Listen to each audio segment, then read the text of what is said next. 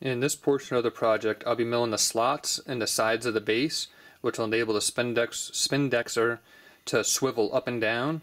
Uh, right here is an image of the side. Uh, this slot right there is what I'll be doing. Uh, I'll be doing that over on the rotary table. I'll show you right here, which I'm getting set up right now to cut the second piece. Being that there's two of them, I kind of turned this into a slight production run. Uh, I already have one finished right here, which you can see. Uh, is what I did is pop down the rotary table, indicated the ID on the recess on there, and earlier I made up a couple of plugs, which this is one of them, a little bit smaller uh, OD here for a different part, but the hole going through the center right here is three quarter of a, three quarters of an inch, 750 thousandths.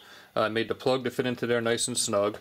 Once I got the rotary table all mounted in and indicated in, I set the vernier on the side of it, oops, to 100 degrees.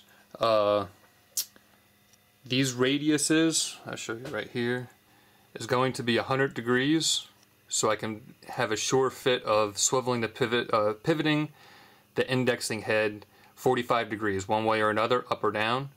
Uh, I chose 100 on the vernier here just for easy math. So if I start off dead nut zero, oops, if I start off zero at 100 degrees, all I have to do is swing the rotary table 50 degrees to the left, 50, de 50 degrees to the right. Just went with that as easy math. Uh, after I got this plate down here, I got the three fingers holding it down fairly snug, and then ran the indicator across the face of it to make sure it's nice and square uh, wheeled in the coordinates to where, where we needed to make the radius, which is 100, uh, which is one inch. Just show you right there. It's one inch by a quarter, and just went to work on it. Thought I'd share a little pin idea here. Made it for easy alignment doing a second piece. Just pop the piece right on there, and all you have to do is indicate the face of it, and everything's already concentric with the center of the rotary table. Right here is that little plug or pin that I was talking about earlier. Just wanted to give a quick shot of that. It just pops right into the, uh, oh, it's a snug fit. Well, anyway, it pops into the center down there. And that's what I was using as an alignment pin.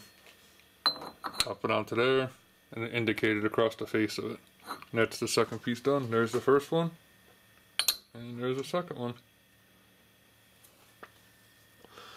Just wanted to share that. Thought it was a quick, easy way of setting up multiple pieces if you ever had to do any sort of production run. At least one way of doing it.